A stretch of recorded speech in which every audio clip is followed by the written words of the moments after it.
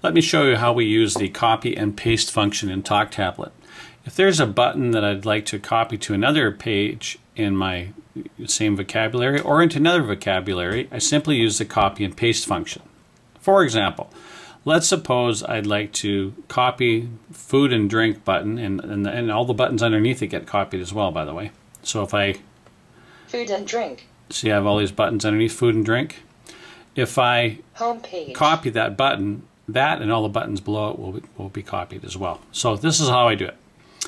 To copy that button, I simply hit Edit in the top right hand corner, touch the center of the button, and then choose Copy. Now I hit Done at the top, and I go to wherever page that I'd like to paste in my food and drink. And let's so I go, go to In My Home. In My Home. And I'd like to paste it in here onto this page. I simply go Edit, top right hand corner. Then I hit Page, top left hand corner. And then I choose Paste. It says Communicating with Server. Then it says Success. I hit the OK button. And you'll see there's the food and drink button. It's in there. I hit Done.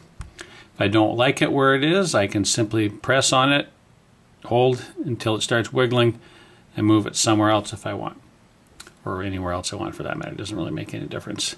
So that's how I use the copy and paste